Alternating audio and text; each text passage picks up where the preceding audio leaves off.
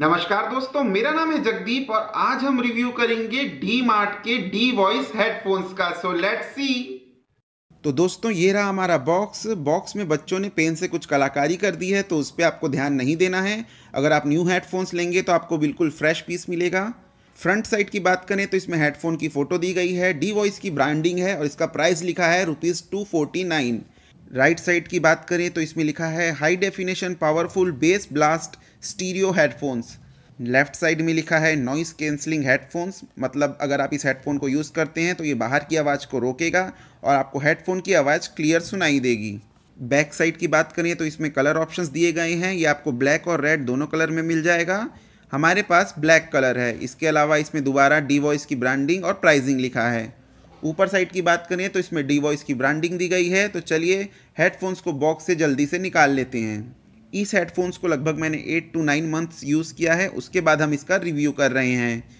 Box के अंदर आपको मिलता है एक हेडफोन और एक ऑक्स केबल तो ये रहे हमारे हेडफोन्स अगेन दोनों तरफ़ डी वॉइस की ब्रांडिंग दी गई है। ग्लॉसी फिनिश दिया गया है, जिससे ये बहुत ही स्टाइलिश लगते हैं। कुशन के बाजू से एक रेड कलर की लाइनिंग दी गई है, जिससे इसका लुक और भी अच्छा हो जाता है। नीचे साइड में 3.5 पॉइंट mm जैक दिया गया है।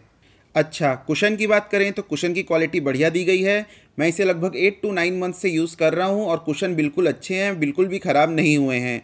अंदर साइड से इसमें ग्रे कलर की फिनिशिंग दी गई है, जो इसके लुक को और भी बढ़िया बनाती है।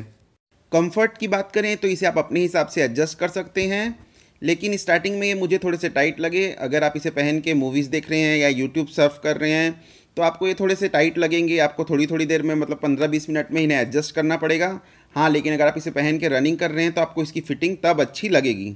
तो चलिए, पहले इसके साथ मिलने वाली वायर की बात कर लेते हैं। उसके बाद इसकी साउंड क्वालिटी और प्राइसिंग की बात करेंगे। देखिए वायर तो आपको इसके साथ लंबी मिल जाती है।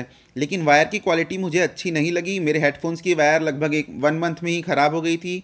इसके अलावा मेरे एक और फ्रेंड ने यही हेडफोन लिए थे, उनकी भी wire one to one and half month में ही ख़राब हो गई थी। तो अगर आप ये हेडफोन ले रहे हैं तो आप एक फिफ्टी रुपीज़ की वायर ज़रूर इसके साथ एक एक्स्ट्रा ले लीजिए। अच्छा दूसरी एक और चीज़ ये है कि इस हेडफोन्स के साथ आपको वायर में किसी भी प्रकार का वॉल्यूम कंट्रोलर या माइक नहीं मिलेगा।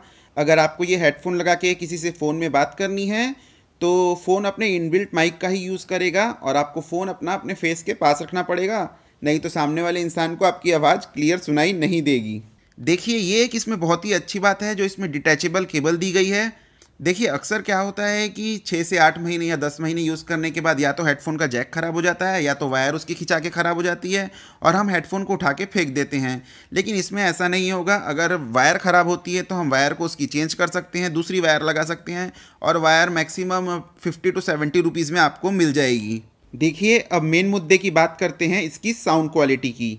देखिए, साउंड क्वालिटी तो इसकी बढ़िया है जनरली क्या होता है कि अगर आप हेडफोन्स को मोबाइल में यूज़ करते हैं तो उसका जो साउंड आउटपुट है, वो कम आता है। लेकिन इन हेडफोन्स में मुझे ऐसी कोई भी दिक्कत नहीं हुई। जो साउंड क्वालिटी थी, वो क्लियर है लाउड है, और अच्छी क्वालिटी का आपको साउंड सुनने को मिलता है। बेस जो है, इसका ओके ओके है, लेकिन जो साउंड क्वालिटी है, वो लाउड है क्लियर है। आपको मूवीज़ देखने में या यूट्यूब सर्फ करने में मज़ा आएगा। प्राइसिंग की बात कर लेते हैं तो टू फोर्टी नाइन रुपीज़ की ये हेडफोन है। अगर आप एक एक्स्ट्रा वायर लेंगे तो लगभग फिफ्टी रुपीज़ की एक एक्स्ट्रा वायर आ जाएगी। टोटल प्राइसिंग हो गया टू नाइन्टी नाइन रुपीज़ तो ये हेडफोन थ्री हंड्रेड की रेंज में भी लुक के हिसाब से, या साउंड क्वालिटी के हिसाब से, या बेस के हिसाब से अच्छे हैं। पहले क्या होता था आई बॉल के रॉकी वगैरह two hundred two hundred twenty rupees की रेंज में आ जाते थे। पर अभी अगर आप मार्केट में हेडफोन्स लेने जाएँगे तो उसका minimum price four hundred five hundred five hundred fifty की रेंज में ही है। हाँ अगर आपका ईयरफोन से काम चल जाता है तो फिर आपको मार्केट में और ऑप्शंस मिल जाएँगे। लेकिन हेडफोन्स की बात करें तो ये चीप हैं और अच्छी क्वालिटी के हैं। वीडियो पसंद आई तो वीडियो को लाइक कीजिए चैनल को सब्सक्राइब कीजिए। दोबारा आएँगे, नई वीडियो लाएँगे। तब तक के लिए